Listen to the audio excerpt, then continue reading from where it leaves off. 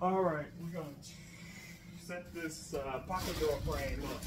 Some of you probably saw the first video where I um, demoed this wall and started this bathroom project, which should have been finished.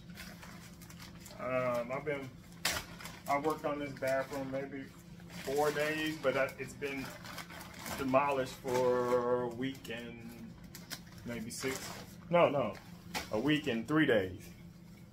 Um, it should have been finished, but I've been screwing around doing other stuff, other projects. So this is the pocket door frame.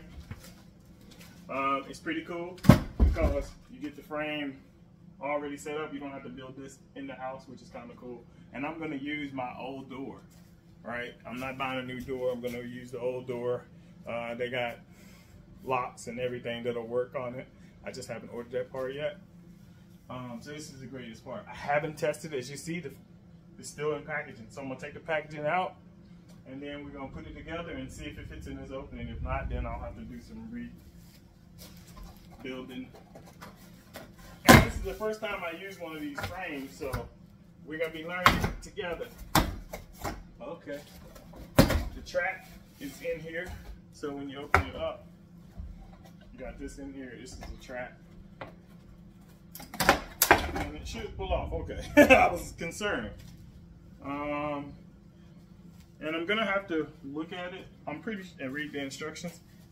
I can tell though that these are just shipping parts, the little overhang, because it goes past the door. But as you look, it's a track, it's a frame, put it on top, boom. But I'm gonna read about it and make sure I put it in there right because I'm not sure which side is the front and which is the back and all that good stuff. So, you're seeing me take it apart. I will pause you when I packaging in here. Oh, these blocks definitely have to come out. I'm gonna leave them in there though for now, so that I don't knock it out of frame. It'll keep it framed up. And they stuck these in the packaging of bolts and track, all that stuff. They stuck it in between the framing and nailed it that way. I mean, it makes sure it won't come out, but it makes it difficult. So, instructions and the packaging, the track and everything. So I'm gonna read that. I'm gonna pause you guys while I read this and figure out what the heck I'm supposed to be doing with this thing. and then making sure that I can do it, which we know I can. So anyway, I'm gonna do that. I'm gonna pause you for a second and uh, we'll be back on it. I'm gonna try to get the frame in. I probably won't put the, I may not put the drywall back up, but I can tell you one thing that I thought about. When you're mounting the drywall, you have to make sure you use short screws because you don't want to screw through and then your door be getting scratched every time you close it. So remember that when you're putting the drywall on. You just can't just go crazy. Pause. Okay, so the instructions do not tell you which way to do the door, but I figured it out based on a couple of clues. Those two pieces that I saw, I'm sorry, I'm reaching for the track, I laid it down over here. This track has these two little guided pieces on it, on the same end with this, the mounting bracket. So these two gonna mount up to the two on the actual door. These two door. And they got screws already in here pre-drilled. So if I take this track, hope I'm not too close for you guys. I'm gonna set it on here. I'm gonna back you up so you can kind of see it. I gotta find a way to do this straight. Ah, oh, I'm gonna flip it around. Okay. It's gonna make it harder for me to get to it though. Just screw it. So take the door.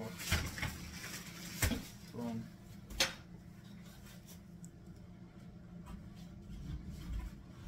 This track pieces. This is the top of the track. I just got the door laying down.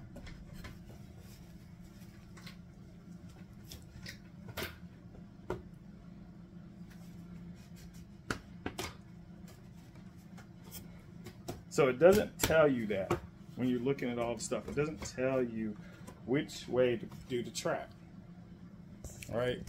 It doesn't tell you that. I'll switch it. That these two little pieces, these little go on the side. See, this is a this is where the door slides in and out of the wall. And then they got two little pieces, of trim and this hangout piece. That's the side to go to the other wall. All right. So in this one, from the big, I got this frame from a big box store. They have these these screws already here. So when I put it on here, line it up, I can just use their screws to screw into it. So that was the hint that they gave you. But the instructions for this door is not very good, honestly. It's not very good at all. And I'm sorry, I got this camera doing all kinds of crazy stuff trying to get you guys set up. But the instructions for the door is not good at all.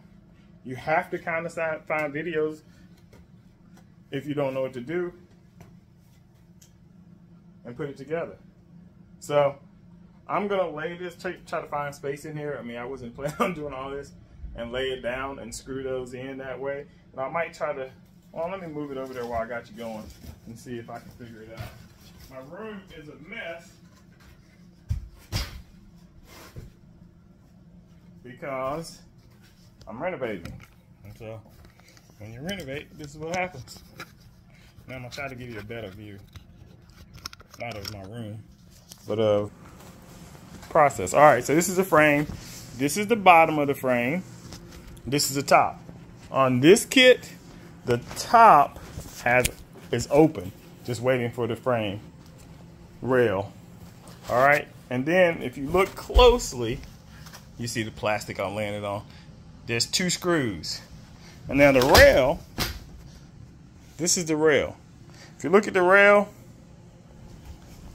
one side has these double pieces of one by and then it also has a mounting piece. That side is going to be your opening side. So the door will go into the pocket, into the wall on this side, and then when it comes out, it's on that side. And I guess they put them there to make sure the door doesn't flop around or whatever.